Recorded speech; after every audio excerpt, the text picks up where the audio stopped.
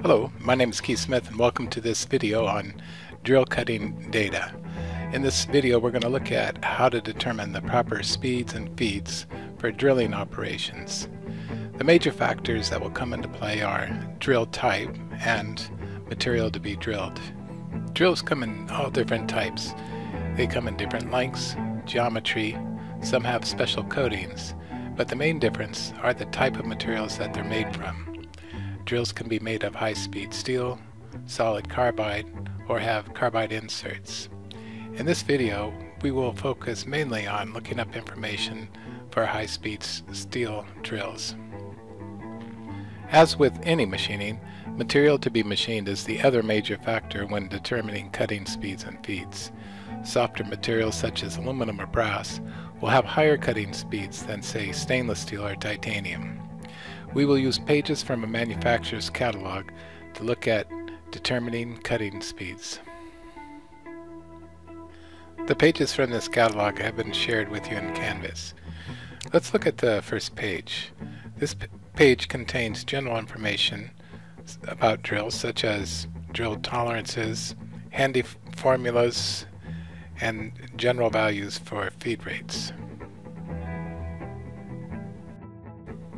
This second page has more specific cutting data for drilling. On the left are various types of materials commonly machined. The next column has to do with suggested tool geometry and makeup. This column contains cutting speed. Note that the values here are in surface feet per minute and not spindle RPM. Finally, this column on the far right contains the suggested cutting fluids to be used. Many materials can be successfully machined using soluble oil, but some require special cutting oils. This next page describes some of the applications of different surface coatings. Coatings can reduce friction and increase cutting speeds and feeds. For instance, look at drills treated with titanium nitrate. The recommended application for this would be both ferrous and non-metallic materials. But notice that it's not recommended for titanium and titanium alloys. This last page shows how these different coatings impact cutting speeds and feeds. So let's apply these values to a Mastercam project. I'll create a drilling toolpath, first starting with the spot drill. So uh, under toolpaths, drill, and I'll select this hole right here. This hole is going to end up being a 3 8 diameter hole, uh, but we'll start with a uh, half inch uh, spot drill. That way we can uh, make the uh, spot drill drill just a little bit bigger than the 3 8 diameter, so we're left with a little edge break on our on the hole.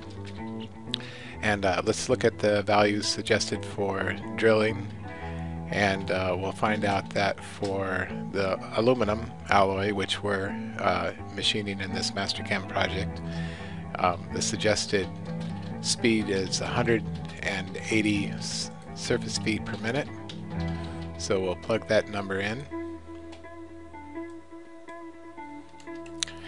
And then uh, the feed rate is uh, suggested to be uh, for a 3 8 diameter drill, uh, 10 thousandths feet per revolution.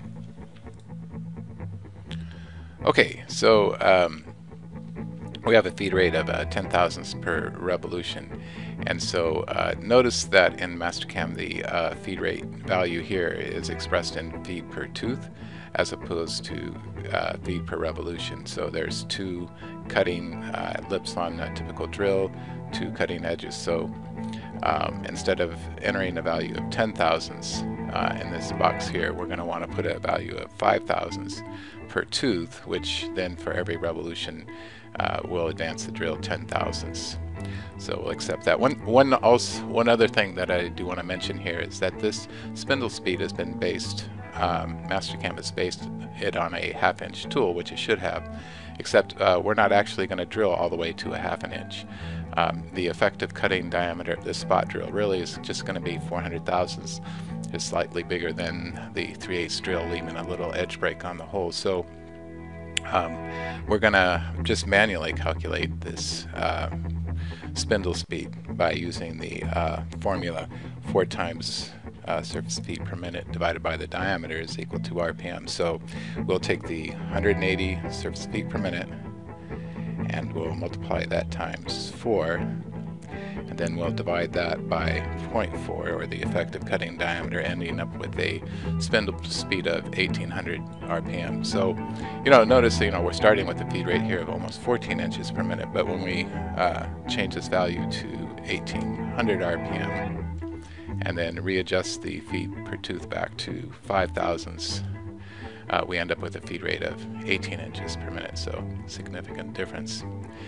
Uh, on the linking uh, parameters, um, we're going to calculate the depth here based on uh, ending up with a chamfer of 400 thousandths. So we'll just click on this uh, calculator button and we will tell Mastercam that we want this chamfer to be about 400 thousandths. And then uh, the flat on the tip of the tool. So most, um, you know, any drill has a chisel point at the end, a flat at the end. And um, on a spot drill, half inch spot drill, you probably find out that that flat was about 30 thousandths, which will affect uh, the depth that it'll calculate. So we'll go ahead and accept that. And uh, we'll accept this. And uh, now that's done. So let's go ahead and take a look then at the um, uh, programming the um, 3 8 drill. So again, we're going to still be drilling this hole. And um, on the tool, we'll uh, select a 3 8 drill. And then for surface feet per minute, well, that hasn't changed. We're still drilling aluminum. And uh, the proper uh, speed for aluminum is 180 surface feet per minute. So we'll plug that number in here. And then on the feed per tooth, well, again, uh, we have a feet per, revolution of 10 thousandths. Um, um, so we'll go ahead and instead of putting in 10 thousandths in this value here, we'll put in a feed per tooth of 5 thousandths. And uh, then we'll end up with a feed rate of just slightly over 18 inches per minute. On the uh, linking parameters, uh, if you saw the print, the diameter of this hole is supposed to be uh, one inch deep. So that's the uh, the diameter. So our drill is going to have to go slightly past one inch in order to have a diameter that's a you know a full diameter of an inch deep. So uh, that's where this uh, tip compensation uh, page comes into play.